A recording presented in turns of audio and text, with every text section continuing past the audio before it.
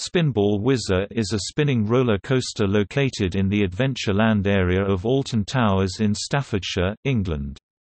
Built by Maurer Söhne, it was previously sponsored by Sega, the company that created the Sonic the Hedgehog video game franchise, and was known as Sonic Spinball from 2010 to 2015.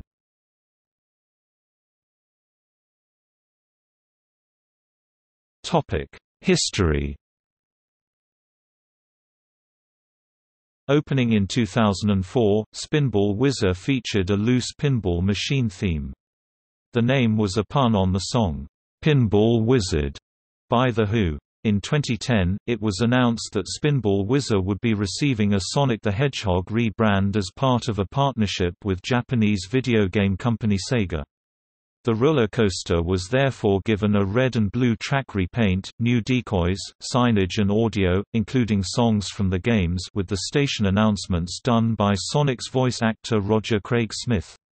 The ride reopened to the public as Sonic Spinball on 13 February 2010 during the park's February half-term event. A Sonic-themed room was also made available at the Alton Towers Hotel, which featured various playable Sonic games and wallpaper based on Sonic the Hedgehog 4. Episode 1 Sega previously had a deal with Alton Towers for the Toyland Tours Dark Ride. A Sonic animatronic featured in one of the ride's scenes along with associated sound effects and music.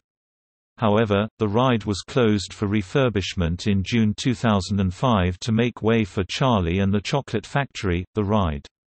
Sega's sponsorship was set to end in 2013 as part of the three-year deal.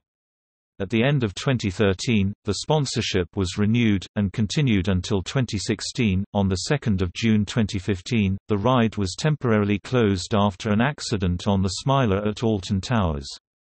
Sonic Spinball reopened on 15 June 2015. The ride returned to the Spinball Whizzer theme for the 2016 season.